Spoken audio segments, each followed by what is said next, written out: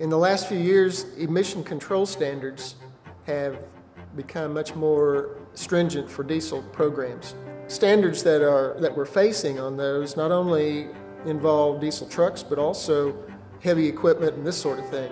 We have right now a situation where there are a lot of shops that are looking for diesel technicians to come in because of the emission control standards uh, there are a lot of shops looking for technicians. They're willing to hire technicians and, and train them themselves and, and, grow their own type of workforce.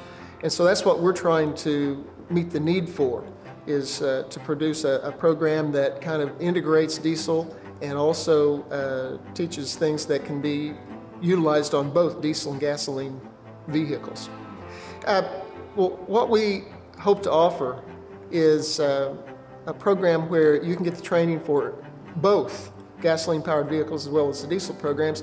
Uh, this program is designed to be um, a really important first step measure to, uh, to help people achieve a job, get a, an entry level job, and uh, be of value to the employer so that uh, they can receive even more specialized tra uh, training depending on who they're working for and uh, you know, whether it's a, a heavy duty diesel shop that that works with Caterpillar and um, uh, road equipment, this sort of thing, or if it's an over-the-road uh, diesel uh, transportation system.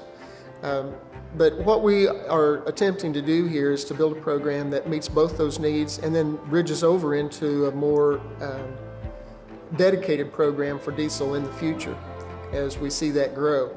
We have shops in this area, in the Joplin area, that uh, are unable to find qualified technicians, even on, at an entry level, to, uh, to hire.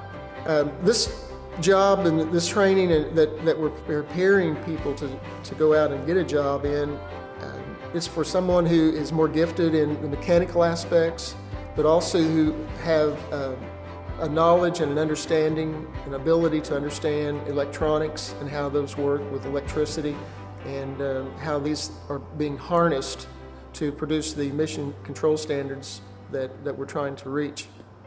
It is a very lucrative career choice. Uh, it, the pay increments are uh, pretty rapid and uh, good pay is out there and, and, very much available.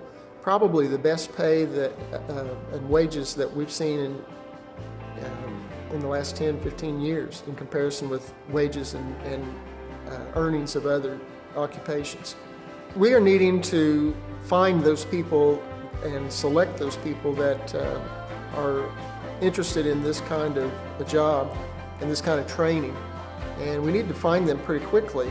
Uh, we've got about a, a four-week window here that we would really like to proceed on because we are trying to prepare that curriculum and bridge that over this summer, getting ready for the fall semester.